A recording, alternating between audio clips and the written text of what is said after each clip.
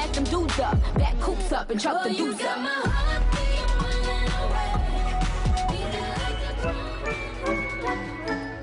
MTV News Canada here. Hi.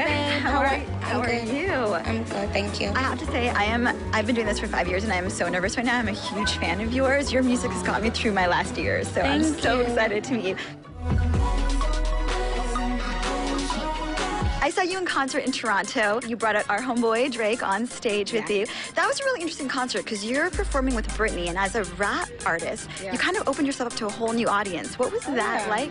Well, you know what? I honestly had the best time of my life. It was such a great experience.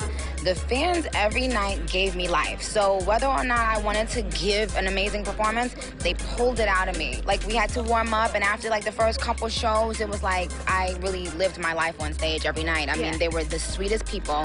They were energetic from beginning to end of the show. It was just dope. And then to see Britney in action, obviously, with her set and her amazingness, it was a great experience for a new artist. I said, excuse me, you're a hell of a guy. I mean, my, my, my, my, you're like pelican fly. I mean, you're so shy, and I'm loving your tie. You're like slicker than the guy with the thing on his eye. Oh. Can you give us a little scoop on your upcoming album? Can you give us uh, some of the secrets of what's coming up? Uh, I can't, I can't uh, reveal any secrets, darling. But I will say that Roman will be there, and there's a new person that will be there. I can't tell you her name, but all I know is that people are going to just love her. Oh, wow. Um, before you go, really quick, can you do one rah rah for Yeah, rah, rah, like a dungeon dragon, like a dungeon dragon, like a dungeon dragon. Thank you so much.